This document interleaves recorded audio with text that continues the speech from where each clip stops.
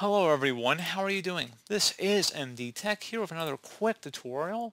In today's tutorial, I'm going to show you guys how to resolve if you're coming across a software installation error on your Windows 11 computer and that whatever program you're attempting to install is unable to successfully install. Well, in today's tutorial, I'm going to show you guys how to hopefully resolve that without too much of a hassle and we're going to go ahead and jump straight into it. So we're going to start off by opening up the search icon, the little magnify icon and you want to type in regedit, so R-E-G-E-D-I-T. Best result should come back a registry editor. Go ahead and right click on that and select run as administrator. If you receive a user account control prompt, go ahead and select yes. And before you begin the registry, I would highly suggest you create a backup of it. So if anything were to go wrong, you could easily restore it back. In order to create the backup, it's very simple. All you have to do is select the File tab and then Export. File name, I normally recommend naming it the date in which you're making the backup keep export range at all, and save it to a convenient and easily accessible location on your computer.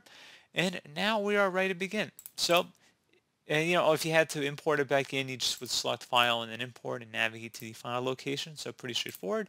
And like I said, ready to begin.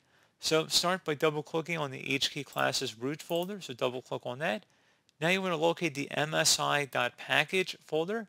So you can just left-click on any random folder in here and start typing it. So again, MSI. And one of the best results should come back to msi.package. Go ahead and double click on that value. And now that we're in here, you want to go ahead and select shell. And there should be a value that says shell. So right click on the shell value, select new, and then select key. Name this key run as, and that's it. And you just hit enter. Now on the right side, you want to double click on the string value up here at the top. And you want to call this install as Again, you're going to have it exactly how you see it on my screen here. So again, install as, and then you're going to do the and sign. So hold on the shift and the 7 key on your keyboard at the same time. So again, shift and 7 key combination. So you have the little and sign. And then immediately after that, you're going to go type in administrator.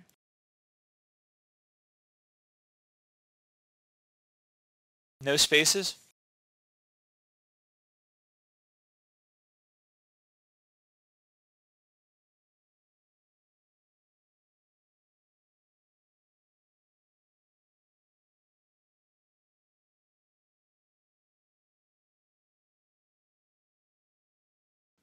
And then hit enter or click on OK to save. Alright, so on the Run As folder, you want to right click now and select New. Select Key. You want to name this key Command, all lowercase, C-O-M-M-A-N-D. Hit enter. On the right side, you want to double click on the default value, again, while we've selected Command. And I'm going to have a value data in the description of the video. I want you guys to copy it and then paste it into the string value here. Again, I will have this in the description of the video. I don't want you guys to try and type it out here. So just paste it in and then select OK. And then once you're done with that, you're going to have to close out of here. You will need to restart your computer for the change to take effect.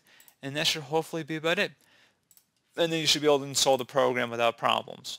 So as always, thank you guys for watching this brief tutorial. Do hope I was able to help you out, and I do look forward to catching you all in the next tutorial. Goodbye.